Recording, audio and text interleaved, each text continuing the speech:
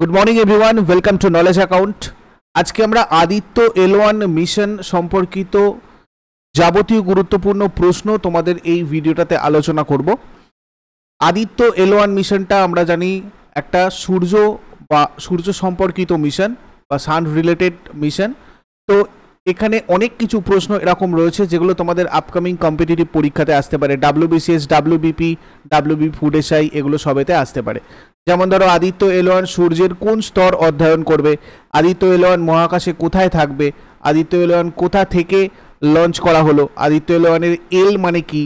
Aditya L one mission project ডিরেক্টরকে Aditya এলোয়ানের budget কত? এই সব কিছু আজকে তোমাদের একটা জায়গায় আমি আলোচনা করব।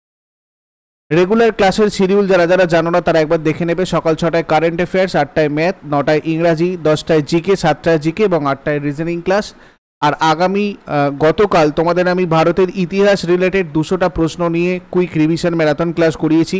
যারা যারা দেখনি অবশ্যই দেখে নেবে। আর নলেজ অ্যাকাউন্ট অফিসিয়াল অ্যাপে তোমাদের রবিবারের দুটো মক টেস্ট রয়েছে। একটা হচ্ছে ডাব্লিউবিপি লেডি কনস্টেবল বা কেপি কনস্টেবল মেনের এক্সাম প্রি মক টেস্ট পুরো পঁচাশি নম্বরের এবং ডাব্লিউবি ফুড এসআই যারা যারা পরীক্ষা দেবে, তাদের জন্য একশো নম্বরের ফুল লেন্থ মক টেস্ট সম্পূর্ণ ফ্রিতে এই ফ্রি উইকলি টেস্ট সেকশনে তোমরা পাবে। তো যারা যারা অ্যাপটা এখনও ডাউনলোড করনি ডাউনলোড করে নিও।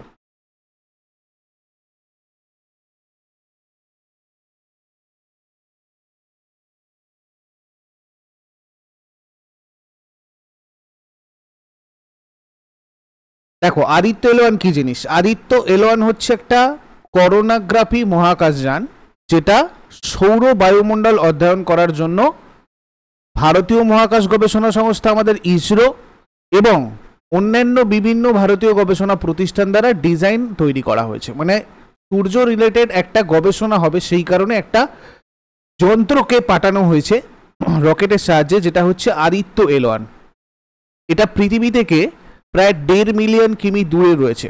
মানে পৃথিবী থেকে দেড় মিলিয়ন কিলোমিটার দূরে সূর্যর একটা জায়গাতে গিয়ে এটা ঘুরবে। সূর্যের মধ্যবর্তী এল ওয়ান ল্যাগ্রেঞ্জ পয়েন্ট বলে একটা পয়েন্ট আছে। তো সেখানে মানে তার চারপাশে একটা হল কক্ষপথে প্রদক্ষিণ করবে, যেখানে একটা সৌর বায়ুমণ্ডল মানে সৌর চৌম্বকীয় ঝড় এবং পৃথিবীর চারপাশের পরিবেশের উপর তাদের প্রভাব কীরকম রয়েছে, কি এফেক্ট পড়ে, সেই জিনিসগুলো নিয়ে অধ্যয়ন করবে, সেইগুলো নিয়ে স্টাডি করবে। তো এই আদিত্য এলোয়ান মিশন কত তারিখে লঞ্চ করা হয়েছে? আদিত্য এলোয়ান মিশনটা লঞ্চ করা হয়েছে সেপ্টেম্বর টু দু হাজার তেইশ। দু হাজার তেইশের সেকেন্ড সেপ্টেম্বরে। আদিত্য এলোয়ান, ভারতীয় মহাকাশ গবেষণা সংস্থা আমাদের ইসরো, সূর্য পর্যবেক্ষণের জন্য নিবেদিত প্রথম ভারতীয় মিশন অর্থাৎ এটা আমাদের ভারতের প্রথম সূর্য মিশন এটা তোমরা নোট করবে। যেটা সেকেন্ড সেপ্টেম্বর এগারোটা পঞ্চাশে, সকাল এগারোটা পঞ্চাশে লঞ্চ করা হয়েছে। কোথা থেকে? অন্ধ্রপ্রদেশের শ্রীহরিকোটার সতীশ ধাওয়ান স্পেস সেন্টার থেকে। নেক্সট আদিত্য এলোয়ান মিশনটা লঞ্চ করা হয়েছে কোন সেন্টার থেকে? অর্থাৎ কোথা থেকে লঞ্চ করা হয়েছে? এরকম শুধু তোমাদের প্রশ্ন আসতে পারে। কি বলবে তাহলে? সতীশ ধাওয়ান স্পেস সেন্টার থেকে আদিত্য এলোয়ান মিশন মানে আদিত্য এলোয়ানটাকে লঞ্চ করা হয়েছে। ISRO Aditya L one mission budget প্রায়। দেখো, ইসরোর এই আদিত্য এলোয়ান মিশনটা করতে টোটাল কত খরচ হয়েছে? টোটাল কত বাজেট ছিল? চারশো কোটি টাকা, প্রায় চারশো কোটি টাকা। আমরা চন্দ্রযান থ্রিতে দেখেছিলাম ছশো পনেরো কোটি টাকা। আর এক্ষেত্রে আমাদের চারশো কোটি টাকা total budget Satish Dhawan space centre ভারতের কোন রাজ্যে অবস্থিত? তোমাদের এই প্রশ্ন চলেও আসতে পারে, এই রিলেটেড তো সতীশ ধাওয়ান স্পেস সেন্টার রয়েছে অন্ধ্রপ্রদেশে।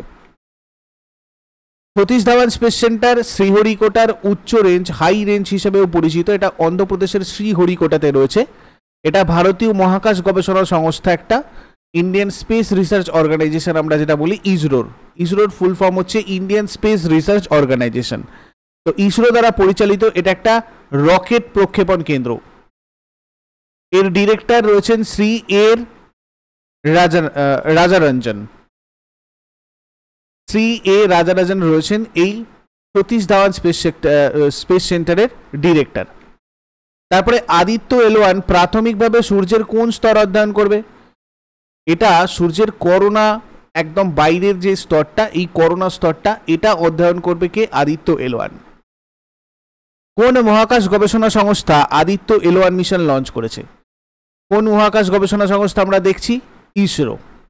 Indian space research organisation Aditya L one মিশনটা লঞ্চ করেছে। আদিত্য এল ওয়ান মহাকাশযান কোথায় স্থাপন করা হবে? এই প্রশ্ন আসতে পারে। তো এরম প্রশ্ন হলে তোমরা কি উত্তর করবে? In a halo orbit around the sun earth L one point sun আর্থের L one পয়েন্টে সান আর আর্থের এল ওয়ান পয়েন্ট বলে একটা পয়েন্ট আছে, সেই পয়েন্টের একটা হলো অরবিটে এই আদিত্য এল ওয়ানটা ঘুরবে। আদিত্য এল ওয়ান মহাকাশযান দ্বারা নিচের কোন পেলোড বহন করা হয়েছে? অল অফ দিস পেলোড মানে হচ্ছে কিছু টেকনিক কিছু টেকনোলজি যেগুলো ইউজ করে রিসার্চ করা হবে। যেমন নাম্বার ওয়ান হচ্ছে ভিজিবল এমিশন লাইন করোনাগ্রাফ এটার short form VELC solar ultraviolet imaging telescope SUIT solar low energy X ray spectrometer SO LE XS Solexs দেখো, এখানে তোমাদের এই পেলোডগুলো রয়েছে। এই পেলোডগুলো এর মাধ্যমে পাঠানো হচ্ছে এই আদিত্য এলওয়ানের সাহায্যে, যেগুলো গিয়ে বিভিন্ন এই যেমন ধরো visible emission line coronagraph VLC total এগুলো হচ্ছে পেলোড কতগুলো পেলোড দেখো? Aditya solar wind particle experiment solar ultraviolet imaging telescope plasma analyser package for Aditya solar low energy X ray spectrometer advanced tri axial high resolution digital magnetometers high energy L one orbiting X ray spectrometer এগুলো সবকটার এক একটা কাজ রয়েছে, সেই কাজগুলো আমরা দেখব। এই সাতটা টোটাল পেলোড তাদের রিমোট সেন্সিং পেলোডগুলোর মধ্যে রয়েছে ভিজিবল এমিশন লাইন করোনাগ্রাফ যেটার কথা বলছি ভিইএলসি এটা কি করবে? এটা করোনার চিত্র দেবে আমাদেরকে। ইসরোকে পাঠাবে এবং স্পেকট্রোস্কোপির মাধ্যমে এর গতিবিদ্যা অধ্যয়ন করবে। Solar ultraviolet imaging telescope, SUIT যেটাকে বলা হচ্ছে, এটা কি করবে? এটা বিভিন্ন তরঙ্গ দৈর্ঘ্য, ফটোস্ফিয়ার এবং ক্রোমোস্ফিয়ারের চিত্র প্রদান করবে। বিভিন্ন তরঙ্গ দৈর্ঘ্যে। Solar low energy X ray spectrometer বা সলেক্স, এটা কি করবে? সূর্য থেকে নরম এক্স রে পরিমাপ করবে। মানে মানে লাইট এক্স রে যেগুলো, সেই লাইট এক্স রেগুলোকে মেজার করবে। High energy L one orbiting X ray spectrometer HEL one OS এটা কি করবে? অগ্নিশিখার সময় সূর্য থেকে আসা কঠিন এক্স রে অধ্যয়ন করবে। ইনসিটু পেলোড দেখো, Aditya solar wind particle experiment ASPEX এটা প্রোটন আলফা কণা এবং ভারী আয়নের মতো সৌর বায়ু কণার বৈশিষ্ট্যগুলো বিশ্লেষণ করবে। Plasma analyser package for Aditya. PAPA, কি করবে? সৌর, বায়ু, ইলেকট্রন এবং আয়নের ভর আর শক্তি পরিমাপ করবে। অ্যাডভান্সড রিটার্ডিং পোটেনশিয়াল অ্যানালাইজার কি করবে? আরপা, সূর্য থেকে নরম এক্স রে মানে সফট যে এক্স রে সেগুলোকে মেজার করবে। High energy L one orbiting X ray spectrometer সৌরবায়ুর গঠন এবং বেগের বিভিন্নতা অধ্যয়ন করবে। নেক্সট আদিত্য এল ওয়ানের পেলোডের ওজন কত? আদিত্য এল ওয়ানের টোটাল পেলোডের ওজন হচ্ছে দুশো চুয়াল্লিশ কেজি। এই হচ্ছে তোমার ম্যাগনেটোমিটার এখানে এই দেখো, এগুলো সবকটা এক একটা পেলোড লাগানো আছে, ঠিক আছে? আদিত্য এল ওয়ানের মধ্যে। এই যে সুইস স্টেপস ওয়ান হেল ওয়ান ওয়েস এইগুলো সবকটা এক একটা সেন্সার টাইপের জিনিস। যে টেকনোলজিগুলো এগুলো সবকটা এক একটা টেকনোলজি এর মধ্যে ইনবিল্ড করে দেওয়া হয়েছে। যেগুলো বিভিন্ন জিনিস, যে বিভিন্ন ডাটা নেবে এবং আমাদের ইসরোকে পাঠাবে। ওকে নেক্সট দেখো, আদিত্য এল ওয়ান মিশনের প্রধান বিজ্ঞান উদ্দেশ্যগুলো কি কি? মানে সায়েন্টিফিক যে ওদের গোল কি উদ্দেশ্যে আদিত্য এল ওয়ান মিশনটা করা হয়েছে বা আদিত্য এল ওয়ানকে ওখানে পাঠানো হয়েছে? তো অবশ্যই এখানে স্টাডি অফ সানস অ্যাটমসফিয়ার সূর্যের চারপাশের যে অ্যাটমসফিয়ার সেটাকে স্টাডি করার জন্য সানস ম্যাগনেটিক ফিল্ড ম্যাগনেটিক ফিল্ডটাকে ভালো করে বোঝার জন্য study sun's coronal mass ejections and flares এই তিনটে জিনিসের জন্য কিন্তু আদিত্য এলওয়ান মিশন করা হয়েছে বা আদিত্য এলওয়ানকে পাঠানো হয়েছে। নেক্সট আদিত্য এলওয়ান মহাকাশযান উৎক্ষেপণের জন্য কোন রকেট ব্যবহার করা হয়েছে? কোন রকেট ব্যবহার করা হয়েছে আদিত্য এলওয়ান মহাকাশযান উৎক্ষেপণের জন্য? তো এখানে আমাদের পিএসএলভি সি ফিফটি সেভেন এখানে উৎক্ষেপণ করা হয়েছে।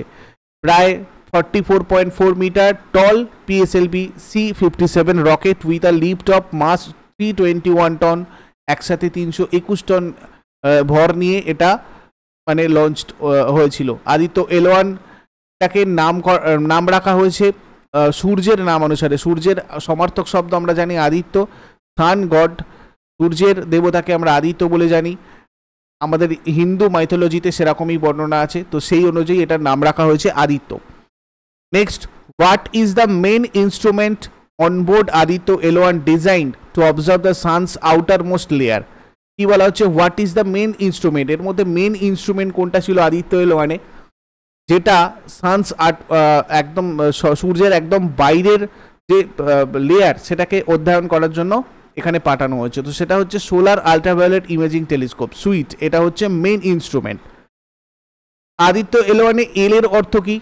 আদিত্য এল ওয়ানের এল এর অর্থ হচ্ছে ল্যাগরেঞ্জ আদিত্য এল ওয়ান মিশনের প্রজেক্ট ডিরেক্টরকে আদিত্য এল ওয়ান মিশনের project director Nigar Shaji Nigar Shaji Aditya L one মিশনের project director next the Aditya L one spacecraft will be placed in a halo orbit around which point কোন পয়েন্টে পৃথিবী আর সূর্যের মধ্যে কোন পয়েন্টে আদিত্য এল ওয়ান স্পেসক্রাফটটাকে প্লেস করা হবে? তো এটা করা হবে কোথায়? ল্যাগরেঞ্জ পয়েন্ট ওয়ান ওই জন্য আদিত্য এল ওয়ান এটার নাম দেওয়া হয়েছে। তারপরে the Aditya L one mission is expected to have life span for how many years এই আদিত্য এল ওয়ান মিশন বা আদিত্য এল ওয়ান যেটা ওখানে পাঠানো হয়েছে, সেটার মোটামুটি লাইফ স্প্যান কত? এক্সপেক্ট করা হচ্ছে দশ বছর। দশ বছর ওটা ওখানে ঘুরে যেটা আমাদেরকে বিভিন্ন তথ্য প্রদান করবে, গবেষণায় সাহায্য করবে। Aditya L one is a dash এইভাবে যদি কোয়েশ্চেন আসে, তোমরা কি করবে? এরকম অপশন থাকলে এখানে তোমরা কি উত্তর করে দেবে? Spacecraft project Aditya L one হচ্ছে একটা স্পেসক্রাফট প্রজেক্ট বা সান মিশন যদি তোমাদের এখানে দেওয়া থাকতো, সেটাও তোমরা এখানে উত্তর করতে পারতে। তারপরে হচ্ছে ইসরোর পুরো নাম কি? এই রিলেটেড একটা কোয়েশ্চেন জাস্ট ফর তোমাদের রিমাইন্ডার করার রিমাইন্ড দেওয়ার জন্য।